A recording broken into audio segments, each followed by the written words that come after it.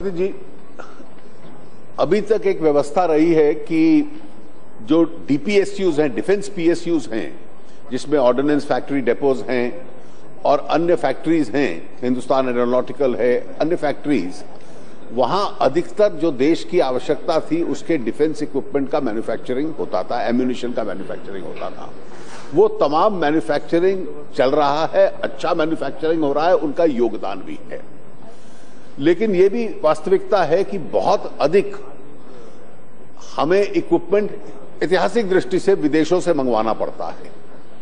और अभी तक जहाँ तक हमारी स्थानीय क्षमता है डीपीएसयूज की, उनमें जो इंडिजिनस कंटेंट है, जो उसमें भारतीय योगदान है, वो धीरे धीरे बढ़ता चला जा रहा है।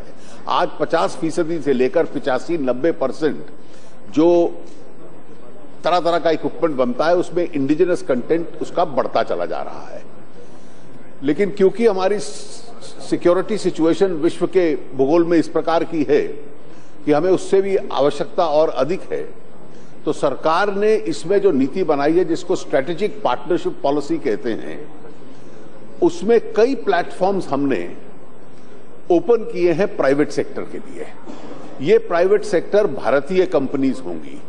ये जॉइंट वेंचर चाहे कुछ इक्विटी का, चाहे ट्रांसफ़र ऑफ़ टेक्नोलॉजी का, किसी भी ओरिजिनल इक्विपमेंट मैन्युफैक्चरर के साथ कर सकती हैं।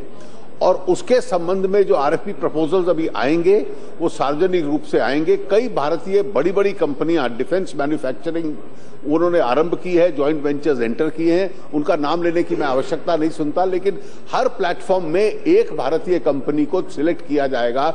और जैसा कि अभी मेरे साथी ने बताया fighter aircraft helicopters submarines main battle tanks ये जितने भी इक्विपमेंट्स हैं ये इस प्रकार के एम्यूनिशन और आवश्यकताओं के मुताबिक इनको खोला जा रहा है।